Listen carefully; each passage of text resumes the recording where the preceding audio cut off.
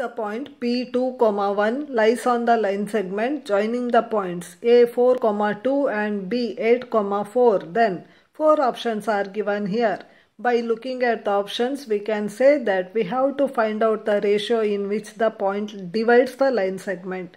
The point may lie internally or externally and divides the line segment in the ratio m is to n.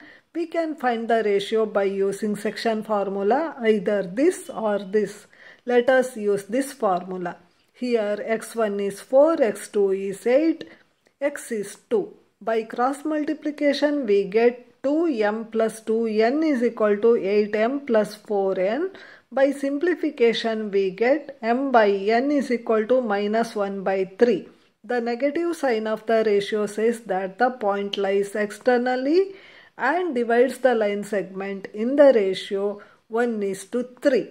So AP by PB is equal to 1 by 3. Let us scan the options one by one.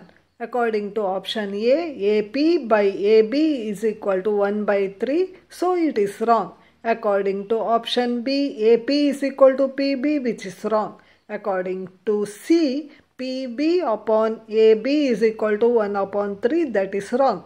According to D, AP by AB is half that is correct.